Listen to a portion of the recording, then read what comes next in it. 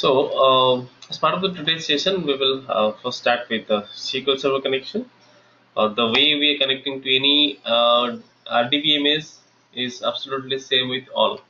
So we have SQL Server now. You know, SQL Server and OLEDB and ODBC are two different approach to connect to any RDBMS. OLEDB, can you just differentiate like you know what you understand from OLEDB and ODBC?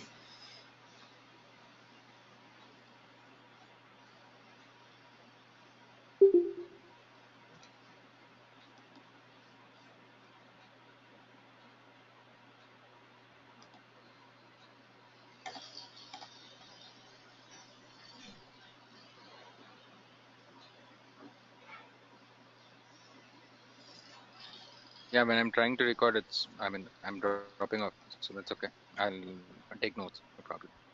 Okay, I made you organizer. You can also record. Yeah. Okay. So uh, the different type of uh, connection you have, as you know, like ODB, OA, uh, ODBC and OLEDB. There are two different approach to connect to any RDBMS database. So for ODBC, the full form of ODBC is Object Database Connection, and the second one is OLEDB is Object Linking and Embedding Database. Okay. So basically, uh, when you are connecting to OLEDB, the connection string itself is written in this document. Okay, connection string, all the input parameters, uh, the password, the server details, everything is stored here in this document. However, ODBC is system dependent. ODBC is more secure. So for ODBC, you have to connect, uh, you have to create uh, object connection object in the ODBC driver we have in the system. Uh, do you have prior idea on this? How to create ODBC drivers?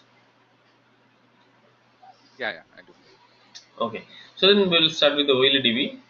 To, to connect to SQL Server, I simply can OLEDB is more secure, right?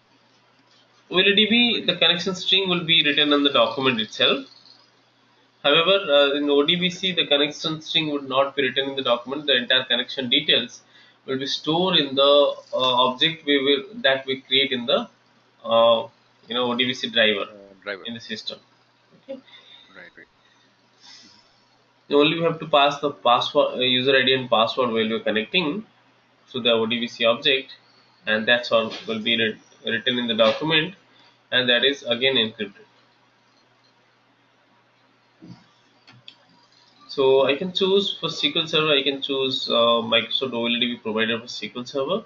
However, for other database like Oracle, uh, you know DB2, uh, mm, uh, you know, Vertica, for any other database, whenever you're installing the database in your system, the database driver is a part of this package which is installed.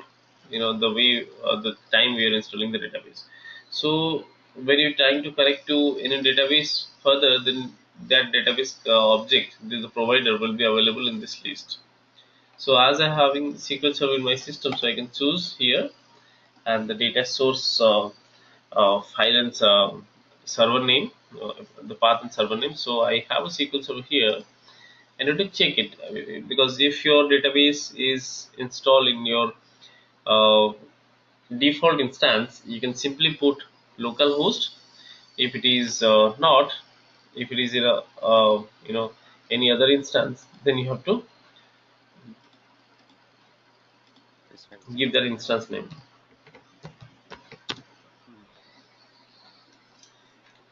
So now coming to the instance, instance is a complete uh, different database repository. Multiple instances would have multiple uh, repositories. So I have this local host. I have three different tables here: uh, product, transaction, and master. Okay, I will also choose this one. So I can simply choose. See, this is for local host is only mean for this database which is installed in my local machine. However, if SQL Server is installed in a remote machine, localhost to not work there. You have to give the IP address of that server or host name. So in case of local machine you can simply choose windows integrated security. If it is a remote machine you can specify the username and password. So i'm going to give this one also.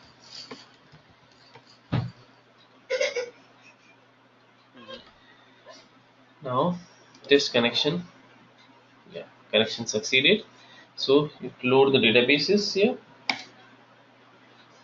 And you can see the list of the database which is available in my this thing database connection. So this connection name I can define which I can easily find out from this connection uh, you know panel. Here so I will give my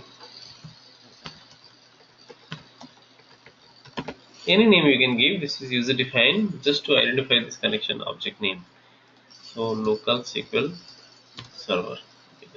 Okay okay. This is my local SQL server is I also would uh, select data from this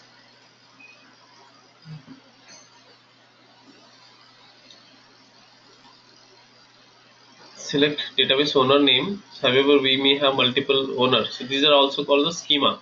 Okay database schema. Default schema is dbo and dbo stands for database object. So for dbo schema I have multiple database, uh, multiple tables, so I can straight away choose all these tables.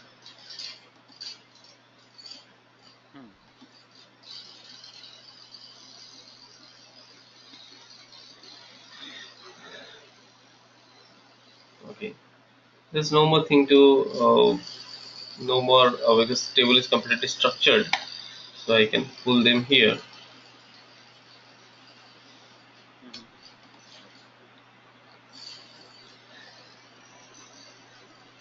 So um, here you can see lib connect to this. Uh, in classic QlikView the connection string was completely written on this uh, document itself okay document editor itself. However Right. here in this OLED uh, in Qlik Sense as and when we are creating a object in that object itself this connection string is written. But though it is there in the document but it is not visible to the user who is uh, you know working on this code base. So it's simply connection string and connect name. The same way others like uh, mm, your uh, getting data from the wave or getting data from the um, binary load all these uh, connections will have a lib okay library. So Qlik Sense Okay. follow a approach called library in every uh, model when I'm going to create a dimension and measures it's called my master library. When I'm going to create a uh, any new connection it's again stored in a connection library. Now here this table like load uh, field names and again SQL in this what we can do is we can either uh, this particular load is called preceding load. Right? You must be knowing about in uh, click uh, QlikView so that means this uh, SQL statement is written as well as this uh, you know field fields are also written. So this particular thing is called preceding load. However SQL statement can be narrated by using simply select star from table name. Because I don't because uh, we're loading all the fields and all these uh,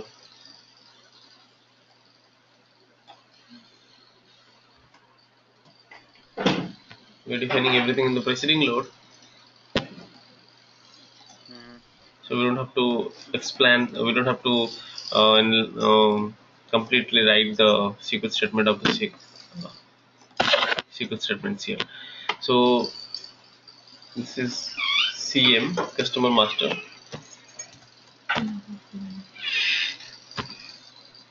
This is again P product and this is transaction STM, CS,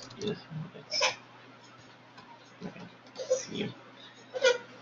Now this can be uh, because we are applying the you know qualify here. Um, I can unqualify the fields those are going to be joined like product code and customer code. Here in the customer table customer code is the primary key.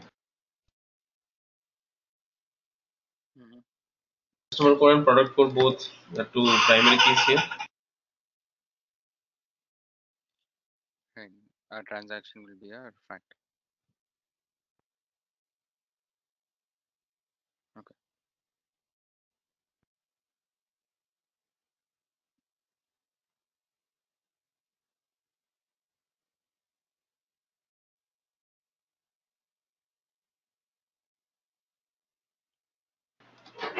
Okay.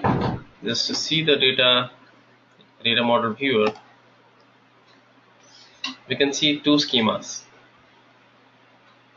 When we can see two data marts. Okay. So this thing in a data warehousing uh, nomenclature we can call it as mart right? So this is one data mart where we have three different tables these are all relational. This is one another data mart there's absolutely absolutely no relations between these two data marts. So